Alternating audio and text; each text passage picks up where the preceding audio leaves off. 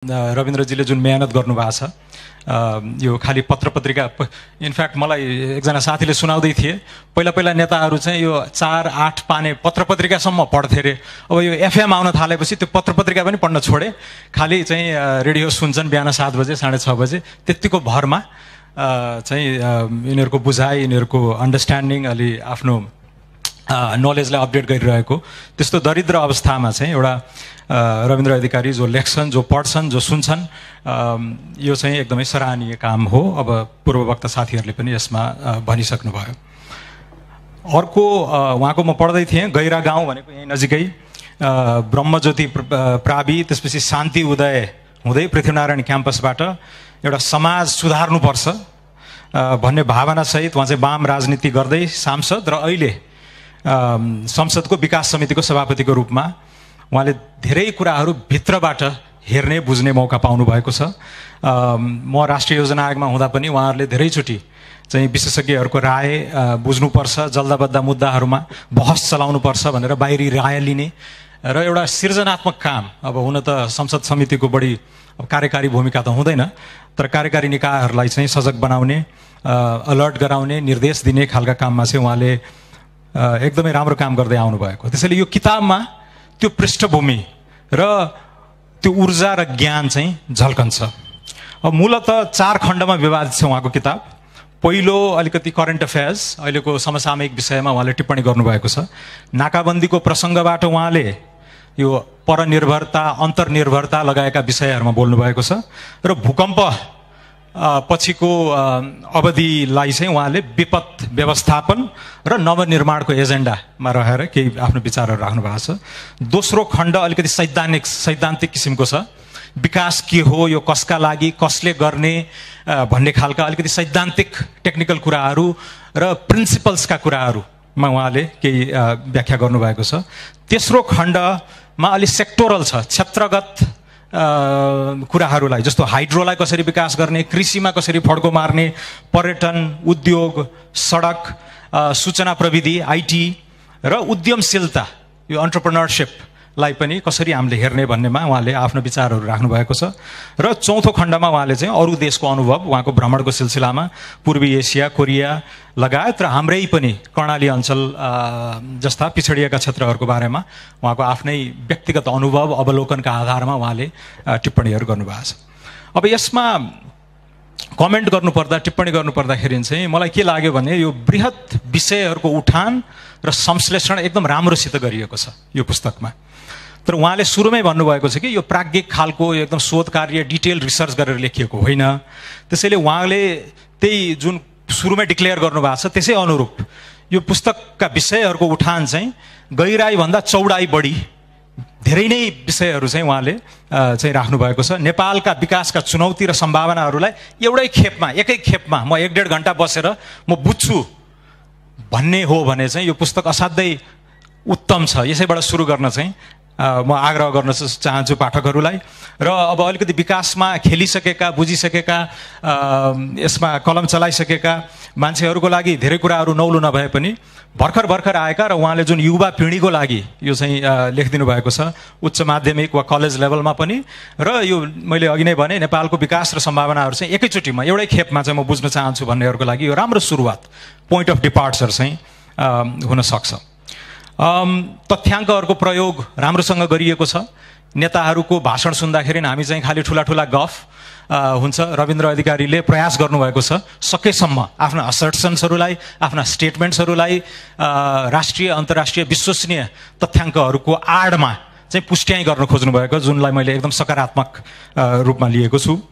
र यसरी यो रेफरेन्सको रूपमा एउटा सन्दर्भ एउटा असल एउटा राम्रो उपयोगी सन्दर्भ सामग्रीको रूपमा चाहिँ यो सबैले चाहिँ पाउनेछन् अलिकति डाटाको आड लिएर केही कुराहरू राखिसकेपछि चाहिँ उहाँको बढी प्याटर्न चाहिँ प्रेस्क्रिप्टिभ खालको पनि छ। यसो हुनुपर्छ उसो हुनुपर्छ भन्ने गरेर उहाँले चाहिँ टुङ्ग्याउनु भएका छ धेरै धेरै च्याप्टरहरूमा भाषा सरल छ अघि सूर्यराजजीले पनि भन्नुभयो। र ठाउँ ठाउँमा असाध्यै प्रेरणा मिल्ने खालको अलिकति भिजनरी र मान्छे मान्छेहरूलाई झकझक्याउने खालको भाषा प्रयोग भएको छ अलिकति भिजन युवा नेताले आशा जगाउने खालले उहाँले पुस्तक लेख्नु भएको छ हामी अब योजना आयोगमा बस्दाखेरि धेरै विषयहरूमा चाहिँ हात डुबाउनु पर्ने हुन्छ।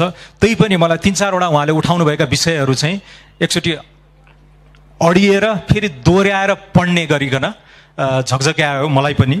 भू उपयोग नीति भूमि नीति जनसाङ्ख्यिक जुन लाभांशका कुराहरूलाई उहाँले जुन गहिरामा गएर अलिकति जोडतोडका साथ उठाउनु भएको छ त्यसले मलाई छोयो। त्यसलाई मैले दोहोऱ्याएर पढेँ र यो किताबको एसेट पनि हो। दोस्रो यो spatial ethnic distribution of poverty यो क्षेत्रगत गरिबीको विवरणबारे उहाँले एकदम राम्रोसित डिटेलमा डाटा आफ्नो पर्सनल अनुभवलाई मिसाएर लेख्नु भएको छ। त्यो त्यो टपिक पनि मेरो लागि अलिकति उल्लेखनीय रह्यो।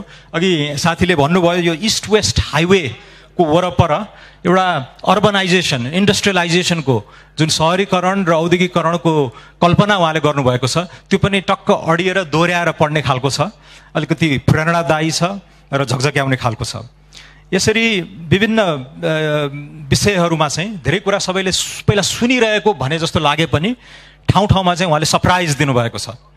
दुईवटा विशेष गरेर दुईवटा च्याप्टर चाहिँ मलाई एकदमै अब राम्रो लाग्यो। एकदम सर्वाधिक मेहनत पनि परेको र अलिकति विषयहरू यसमा अलिकति लामा पनि छन् यिनीहरू। पहिला किताबको यो सङ्ग्रह आर्टिकलहरूको मात्रै सङ्ग्रह मात्र होइन कि यसमा चाहिँ उहाँले विशेष गरेर मेहनत गरेर गर्नुभएको छ। एउटा चाहिँ अलिकति सैद्धान्तिक खालको छ विकास भनेको कस्तो कसका लागि र कसले?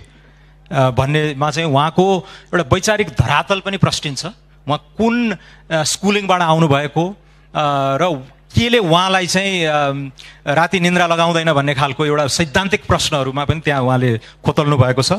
दोस्रो चाहिँ अलिकति सामाजिक आर्थिक रूपान्तरणको लागि उद्यमशीलता भन्ने च्याप्टर थियो।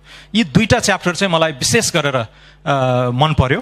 र यसले पनि यो पुस्तकको एउटा दृष्टान्त दिन्छ कि राम्ररी लेख्दाखेरि राम्रा लेख्दाखेरि यसका स्ट्रेङ्थ के हुन्? र कहिलेकाहीँ अलिकति बहकिँदाखेरि यसका कमजोरी पनि के हुन् भन्ने खालको चाहिँ यही दुईवटा च्याप्टरमा पनि मैले पाएँ। त्यसैले अब तिनवटा मेरा कन्सर्न्सहरू नबनाऊ। अब यसरी उभिएर टिप्पणी गरिसकेपछि खालि अब उहाँको शुभचिन्तक भावनाले तारिफ मात्र गर्नु भएन। अलिकति आलोचनात्मक टिप्पणी पनि गर्नुपर्ने हुन्छ। तर म अब अलिकति रचनात्मक सुझावको रूपमा यहाँ ग्रहण गरिदिनु हुन म अनुरोध गर्दछु। जहाँ जहाँ पहिलो पोइन्ट चाहिँ जहाँ जहाँ अलिकति व्यक्तिगत अनु अनुभव अवलोकन र तथ्यहरूको सहारामा रविन्द्रजीले किताब किताबमा आफ्नो कन्टेन्टमा लेख्नु भएको छ त्यो पास भएको छ त्यो खारिएको छ त्यो चाहिँ विभिन्न स्क्रुटिनीबाट पनि पास हुने खालको छ। जहाँ जहाँ उहाँले अलिकति आइडियोलोजी र आग्रह पूर्वाग्रहलाई चाहिँ अगाडि लिएर आउनु भएको छ त्यहाँ चाहिँ चिप्लिनु भएको छ। र यो यो यो दुइटै च्याप्टर मैले जुन उल्लेख गरेँ त्यहाँ यो यो यो मजाले झल्कन्छ। जुन दोस्रो च्याप्टर छ त्यहाँ चाहिँ बढी तथ्य बढी व्यक्तिगत अनुभव अवलोकन र उहाँले केरकार गर्दा विकास समितिको सभापति हुँदाखेरि त सयौँ मान्छेहरूलाई केरकार गरेपछि उहाँले आफैले निकाल्नु भएको निचोड र संश्लेषण त्यो उत्कृष्ट छ त्यो सबैले पढ्नुपर्ने खालको छ। जहाँ जहाँ उहाँहरूको विद्यार्थी राजनीति एमाले पार्टीसँगको आबद्धता अलिकति लोक रिझ्याई खालका कुराहरूमा चाहिँ अलिकति बहकिनु पर्ने हो। दुई चारजनालाई झापडा हान्नुपर्ने नै छ गाली गर्नुपर्ने पनि छ। त्यस्तो ठाउँमा चाहिँ उहाँ चिप्लिनु भएको छ। र अलिकति अब यो हामीले पछि सबैले यो नेपाली लेखकहरूले स्रोत पाठकहरूले पनि बिस्तारै इम्प्रुभ गर्दै जानुपर्ने कुरा।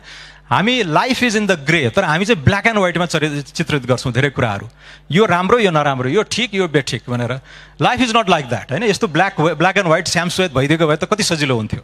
त्यसैले यो नुवान्स र यो डेप्थलाई कहिलेकाहीँ उहाँले चाहिँ अलिकति साह्रै नै सिम्प्लिफाई गर्नुभएको जस्तो मलाई लाग्छ जस्तो उहाँले भन्नुहुन्छ अर्थशास्त्रीय दृष्टिकोण यो हो समाजशास्त्रीय दृष्टिकोण यो हो। त्यस्तो सजिलो छैन। आजकल सारा विधाहरू अन्तर एकदम डिस इन्टरडिसिप्लिनरी छन्। त्यो एकदम सजिलो हिसाबले चाहिँ खालि पत्रकार वा नेताहरू बोल्लान् तर स्कलरहरू त्यसरी बोल्ने जमाना गइसक्यो। दोस्रो उहाँले जस्तो एडम स्मिथ मार्केट इकोनोमी बजार अर्थतन्त्रको बारेमा केही टिप्पणीहरू गर्नुभएको छन् जुन अलिकति अपुरो खालको छ। यो मैले नेपालमा आएपछि अलिक अझ महसुस गरेको। के सजिलोसित अब यो जनतालाई बुझाउनलाई पनि होला पत्र पत्रिका भाषण गर्दा पनि होला एडम स्मिथ भने पुँजीवादी कार्ल मार्क्स भने कम्युनिस्ट भनेर दुईवटा किताब बाँड्ने। यो त्यति सजिलो छैन। र यसमा सबभन्दा धेरै कलम चल चलाएका वामपन्थी रुझान राख्ने भनिएका विश्वचर्चित अमर्त्य सेन जो चाहिँ एडम स्मिथका सबभन्दा ठुला प्रशंसक। र उनले साँच्चीकै के भने हुन् त आफ्नो लाइफभरिको कृतिहरू मार्फत चाहिँ भनेर दुनियाँलाई अहिले प्रस्ट्याउँदै हिँडेका। र उनका श्रीमती तेस्रा श्रीमती चाहिँ एमा रथ चाहिँ एडम स्मिथको विषयमा विश्वकै टप स्कलर पनि। भनेपछि उनीहरूको कृति हेर्ने हो भने चाहिँ एडम स्मिथलाई समग्र रूपमा बुझ्दाखेरि उनले सेभेन्टिन फिफ्टी नाइन उना सन् सत्र सय उनासाठीमा लेखेको the theory of moral sentiments पहिलो कृति पनि हो त्यो अन्तिम कृति पनि हो। पछि सन् सत्र सय पचहत्तर छयत्तरको हाराहारीमा यहाँ पृथ्वीनारायण शाह मरेको वर्ष चाहिँ उनले वेल्थ अफ नेसन्स लेखे। त्यो वेल्थ अफ नेसन्सलाई मात्रै र त्यहाँ पनि एक दुईवटा च्याप्टर त्यो एकदम ठुलो ढड्डा किताब छ। तर त्यसको पनि दुई चार प्याराग्राफ मात्रै जुन उद्धित गरेर बाहिर प्रचारित गरिएको छ त्यसको बलमा ए यो पुँजीवादको पिता यही हो मोडर्न आधुनिक अर्थशास्त्रको पिता यही हो भन्ने खालको गरेर जुन प्रचार गर्यो त्यो बिल्कुल गलत छ। अमर्त्य एडम स्मिथलाई बुझ्नको लागि थ्योरी अफ मोरल सेन्टिमेन्ट्स र वेल्थ अफ नेसन सँगसँगै पढेर त्यो उनको त्यो भर्सेटिलिटी त्यो उनको ब्रेथ अफ त्यो टपिकहरू चाहिँ सबै बुझ्नुपर्छ। र मैले भनिहालेँ यसको सबभन्दा प्रखर व्याख्याता र प्रशंसक अमर्त्य सेन आफै पनि लेफ्ट अफ सेन्टर थिङ्करको रूपमा फिलोसफर इकोनोमिस्टको रूपमा चिनिएका व्यक्ति। त्यसैले यो black and white pre present गर्दाखेरि चाहिँ अलिकति अपुरो र ठाउँ ठाउँमा मिसलिडिङ पनि हुनसक्छ। दोस्रो पनि उहाँले मानव विकास र नव उदारवादलाई पनि त्यो विपरीत ध्रुवको जस्तो गरेर चाहिँ प्रस्तुत गर्नुभएको छ। त्यो त्यो त्यति ब्ल्याक एन्ड व्हाइट छैन त्यो पनि। त्यसमा पनि विभिन्न नुहान्सेसहरू छन्। संयोगले म मानव चार पाँचवटा मानव विकास प्रतिवेदन आफै लेख्ने टोलीमा पनि बसेँ र नव उदारवादको प्रवर्तन गर्ने भनेर प्रचार गरिएको संस्था विश्व बैङ्कमा पनि काम गर्ने म अवसर पाएँ। यो त्यति ब्ल्याक एन्ड व्हाइट छैन। त्यसैले यो पाठकहरू झुक्केलान् अलिकति अपुरो बुझाइलाई झन् ऊ हुन्छ कि भन्ने मेरो सामान्य डर हो तर उहाँले आफ्नो अलिकति पछि यो डेफ्थ र न्युवान्सहरू पछि ल्याइहाल्नुहुन्छ दोस्रो दोस्रो बिन्दु चाहिँ दोस्रो पोइन्ट चाहिँ यो च्याप्टरहरूको सङ्ग्रहमा चाहिँ एउटा टेस्ट के हो भन्दा यो होल चाहिँ is it greater than the sum of the parts यो टुक्रा टुक्रा जोड्दाखेरि समग्र चाहिँ टुक्रा टुक्रा भन्दा बढी हुन्छ कि बराबरै हुन्छ कि घटी हुन्छ भन्ने प्रश्नमा चाहिँ मेरो विचारमा यहाँ अलिक केही दोहोरापनहरू छन् च्याप्टरहरूमा दोहोरिएका छन्। त्यसले गर्दाखेरि माइनस नै भयो कि भन्ने डर पनि हुन्छ तर त्यस्तो छैन बराबरै भन्छु म।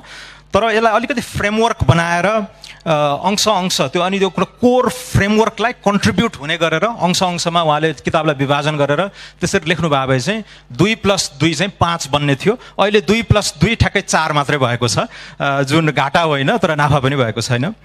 र तेस्रो मेरो पोइन्ट चाहिँ उहाँलाई जुन समस्याको उठान भएको छ तर समाधानमा त्यति गहिराइका साथ उहाँ नपस्नु भएको कि जस्तो महसुस भएको छ। सिम्टम्स डायग्नोस्टिक्सहरू गर्नुभएको छ तर यो क्लिनिकल क्योरकै विषयमा चाहिँ उहाँले अलिकति गहिराइसित गर्नुहोस् भन्ने मेरो चाहना छ। किन भन्दा रविन्द्रजीको जस्तो पोजिसनमा धेरै कम मान्छेहरू छन्।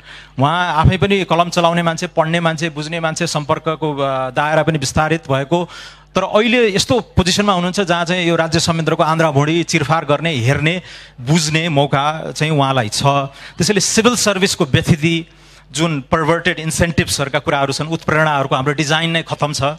ट्रान्सफर इम्प्युनिटी राजनीतिकरणका विषयहरू राजनीतिक पार्टीहरूकै फाइनेन्सिङ फन्डिङका विषयहरू जुन चाहिँ करप्सनको जराको रूपमा रहेको छ यिनमा चाहिँ उहाँले पसेर डुबुल्की मारेर समाधानहरू पनि दिन सक्नुपर्छ।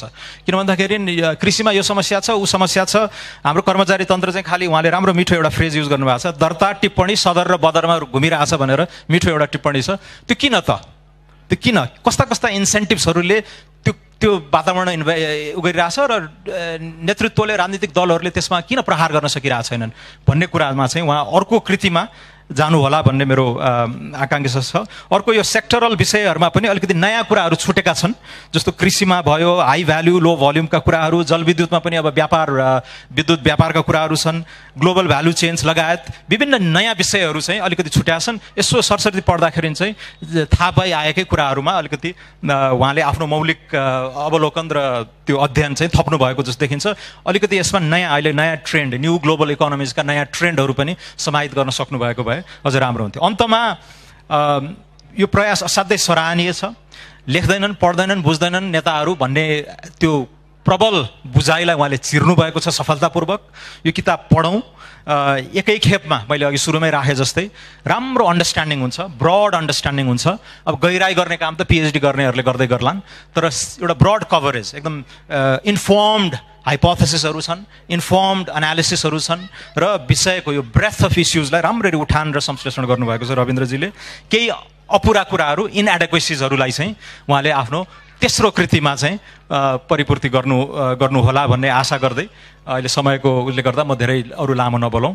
अम, र रविन्द्रजीलाई तेस्रो कृति चाहिँ एउटा कालजयी एउटा क्लासिक डेभलपमेन्ट पुस्तक लेख्नेतिर चाहिँ उहाँ सोचिनुहोस् यो मन्त्री सन्त्री बन्ने चक्करमा तपाईँ नलाग्नुहोस्। अर्को दुई वर्ष यो सभापति कार्यकाल सक्नुहोस् र त्यसपछिको एउटा फ्रेस म्यान्डेटबाट आएको सरकारमा चाहिँ एउटा दमदार मन्त्रालय लिएर चाहिँ आफ्नो पुस्तकका मा लेखिएका कुराहरूलाई चाहिँ कार्यान्वयन गरेर देखाउनुहोस्। यही छ मेरो शुभकामना। हस्। धेरै धन्यवाद छ डाक्टर स्वर्णिम वाग्लेज्यूलाई यो छोटो समयमा पनि पुस्तकको साङ्गो पाङ्गो क्रिटिकल एनालाइसिसको लागि मसिनो गरी उहाँले आफ्नो